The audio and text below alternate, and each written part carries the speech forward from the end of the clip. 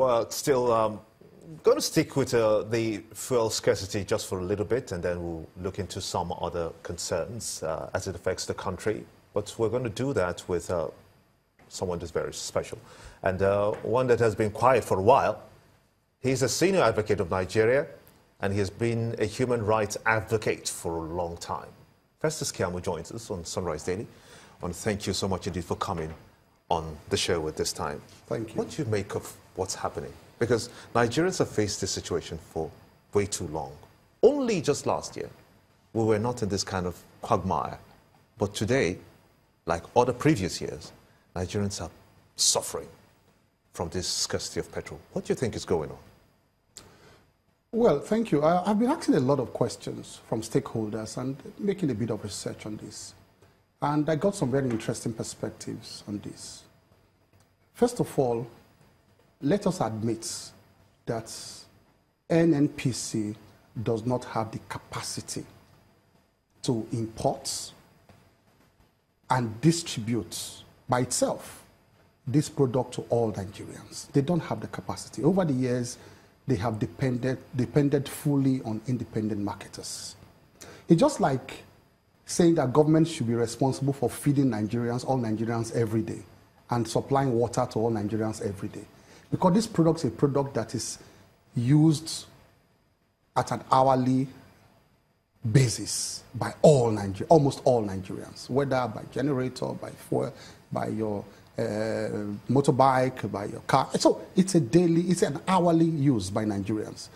The government does not have the capacity to import and distribute to all Nigerians. So what is going on? Now,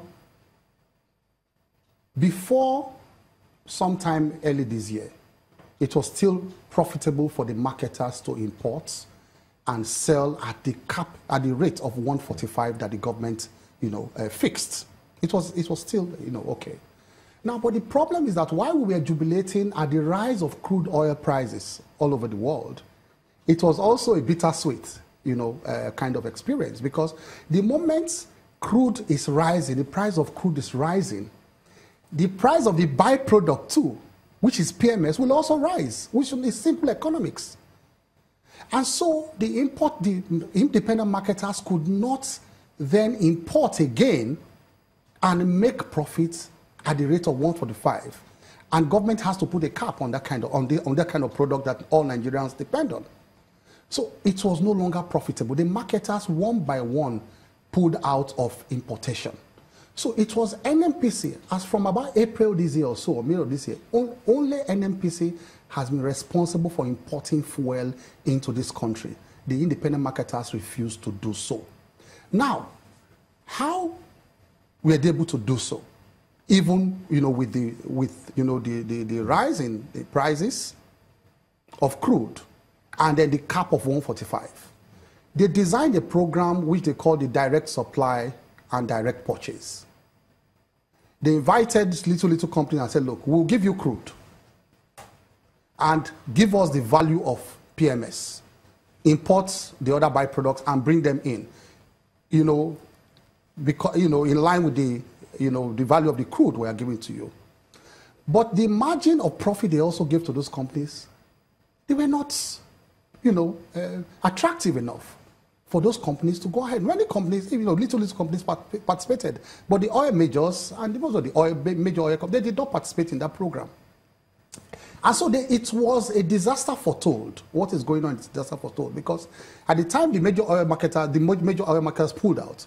And then before then, they were responsible for about 80% of the imports, the major oil marketers.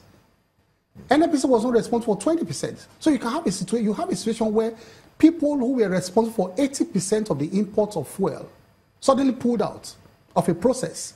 You are going to have a problem. NNPC tried to cover up for that, you know, deficits. And so they should have seen it coming. And then even the alternative mode they provided also, the companies were not participating because the margin of profit in respect of the direct supply, direct purchase, they were not there. Now, when they were importing, still importing, they still do not have the capacity, the storage facilities to store their product, NNPC, because if they do that, then they can monitor it themselves. Because uh, they still have to depend on independent marketers who have the storage, the tank farms.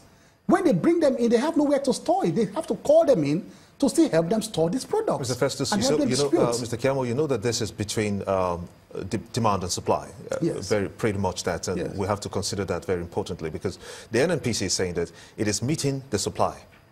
And the independent marketers who are buying from the NNPC, somehow, in the, in the process of uh, the supply, the products don't even get to the reservoirs to I sell. think they're not telling the whole truth. Are, they, are those products finding their way out of this country? They are not to the extent of causing this type of scarcity. So the NNPC is not telling the whole truth. Somebody has to pay the price in NNPC for what is going on. Okay, I'll they let you continue with your line of thoughts. Yes. Will you continue with your line of thoughts? We'll take a very short break now. I'll be back. Join us again.